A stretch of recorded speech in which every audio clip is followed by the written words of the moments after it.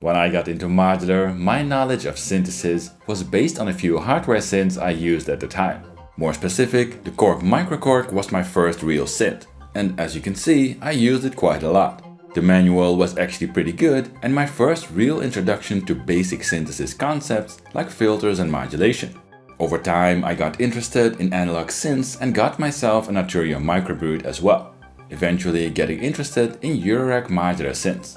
The first thing that attracted me to the modular was the fact I could build my own synth over time with the exact ingredients I wanted.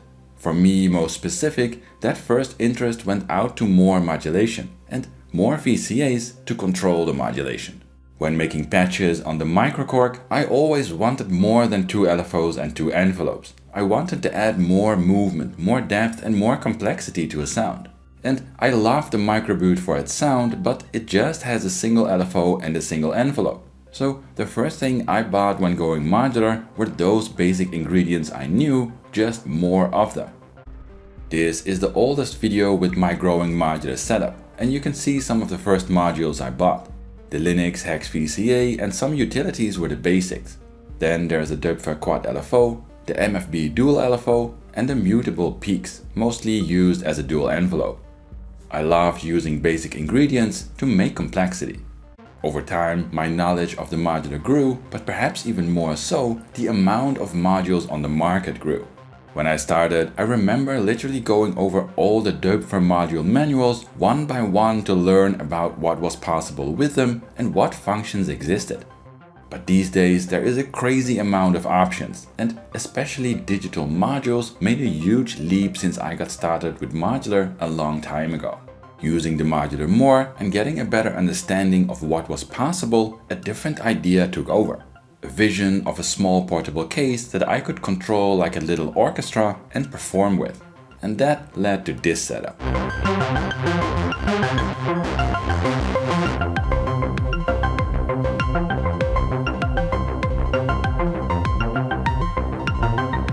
Don't get me wrong, I love this. It's a very powerful system that is the little orchestra in a box I wanted but a lot of that basic signal flow and exploring complexity with basic ingredients is gone. First off, a lot of this setup is digital. There are three digital oscillators, digital sequencers and modulation, digital effects, and I use samples for percussion. The only crucial thing that is analog here are the filters.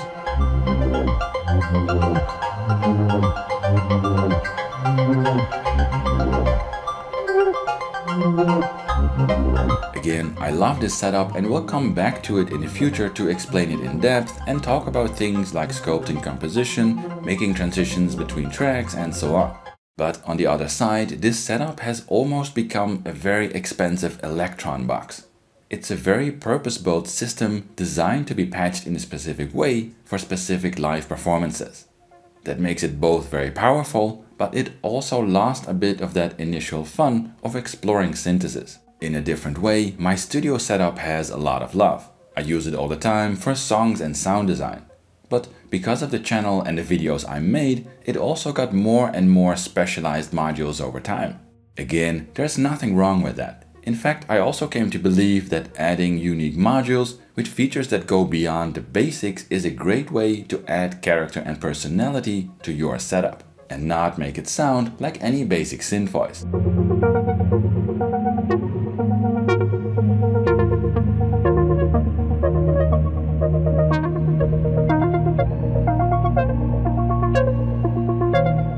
This system is great to talk about more complex and fun sound design ideas, using things like samples or deep stereo setups and so on. And I will do those things.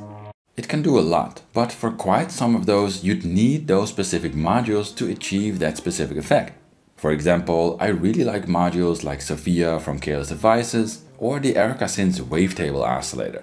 I use them very often, but you basically need those exact modules to recreate some of its sounds. And of course, my favorite here is the organic random voltage generator I designed with ADDAC. You should definitely check this one out.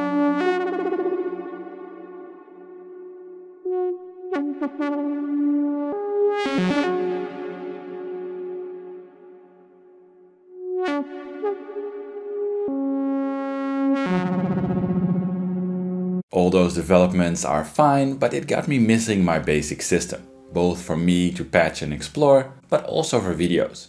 So I gathered a lot of my first core modules and rebuilt a basic system. I really value sharing ideas with modules and patches people can very likely reproduce and I already wrote a bunch of script ideas for this setup. There are three simple analog oscillators, two filters and a dual low-pass gate. The Linux Hex VCA is still a core module. Then there's a bunch of modulation, simple LFOs, envelopes and a very healthy dose of common utilities like mixers and attenuators. And here on the bottom, there's even a section with perhaps the most specific module, the step 8, and a few things like switches, clock dividers and quantizers. This system is great to share lots of patches and fundamental synthesis ideas that can be recreated without needing specialized or these specific modules. The Linux, for example, is no longer in production, but you can use any VCA you like. And you don't need specific oscillators, filters or LFOs either.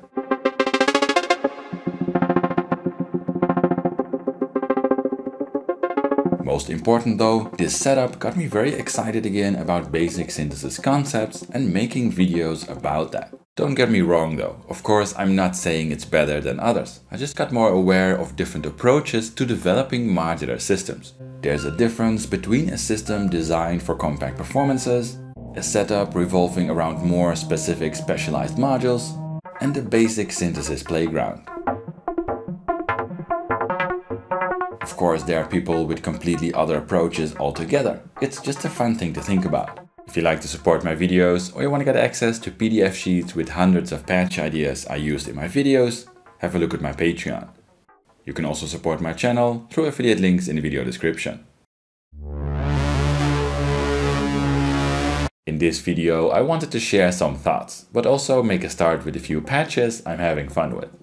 I really enjoy exploring that first interest in modular I had, using a bunch of simple tools and modulation and see how I can push those basic ingredients to do interesting things.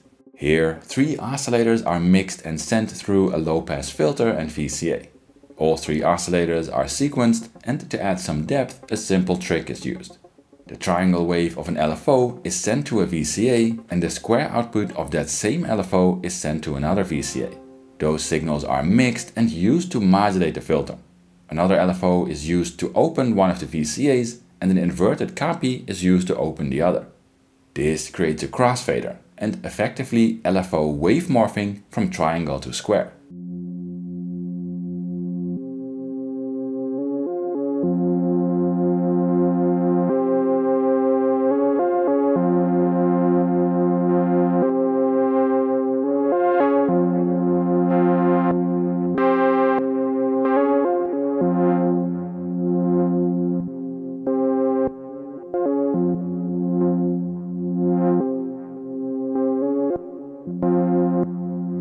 Push the sound further, the sequencer is triggering a simple attack decay envelope, sent to a mixer and used to open the VCA, creating a plucky sound.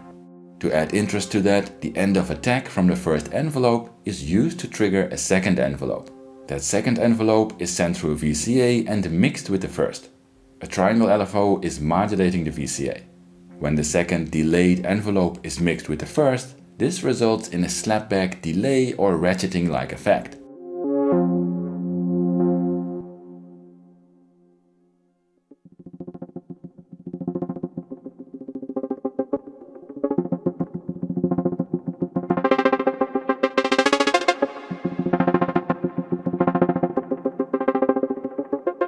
Here, a copy of the audio from one oscillator is sent through a VCA and on to modulate the FM input of another oscillator. Again, an LFO is used to modulate the VCA. Another VCA is added at the end of chain to add volume ducking with an inversed envelope triggered by a kick. There is nothing crazy in this patch, but the 6 VCAs, 4 LFOs and 3 envelopes all add a subtle amount of motion, keeping the sound interesting for a longer time.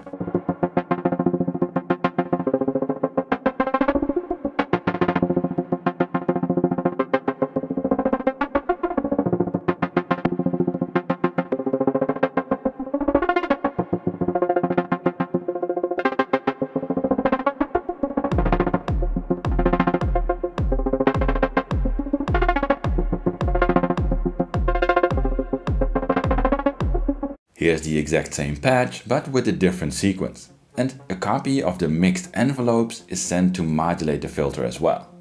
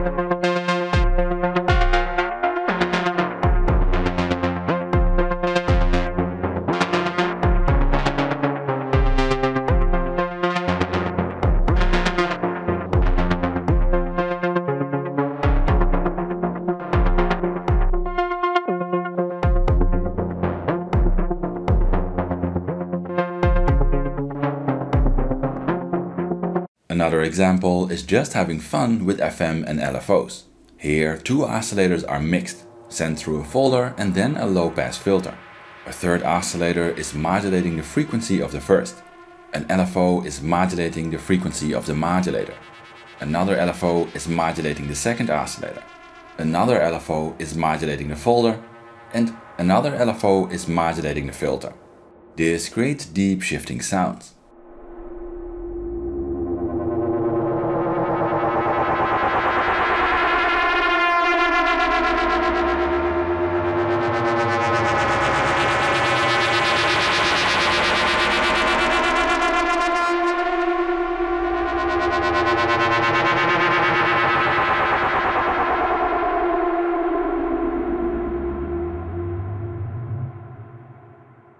Trying to tame patches like this is a lot of fun. Here a sequencer is added tuning the two audible oscillators. It's also triggering an attack decay envelope modulating the filter. The decay of the envelope is modulated with a smooth random voltage. To add a nice stereo effect, the signal from the filter is sent to two VCAs, used for the left and right outputs. A copy of the trigger pattern is sent to a switch, dividing the pattern over two envelopes, each opening one of the VCAs, creating a wide stereo signal.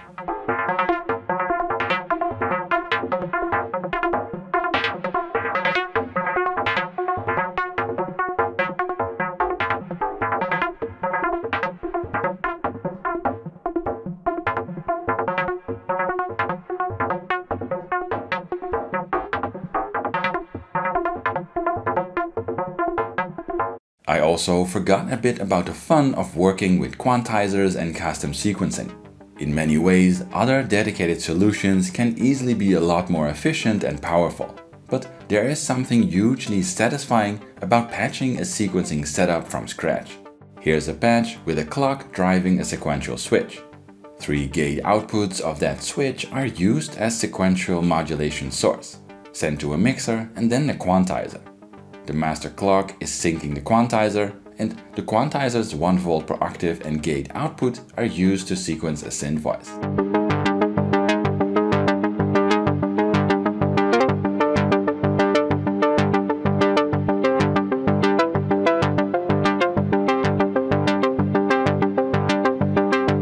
There are many ways to expand this idea and add to it.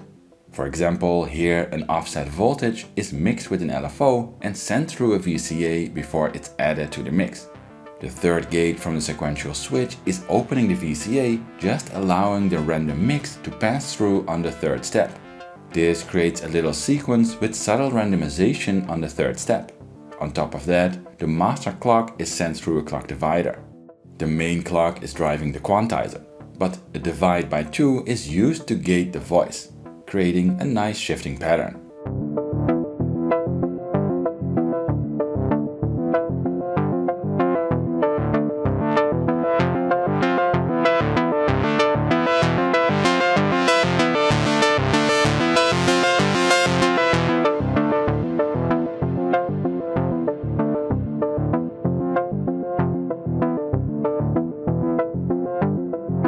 If there's a topic you'd like me to dive in first, let me know in the comments. If you'd like to learn more, have a look here, and as always, smash that like, subscribe and bell button if you want to see more Modular content from me.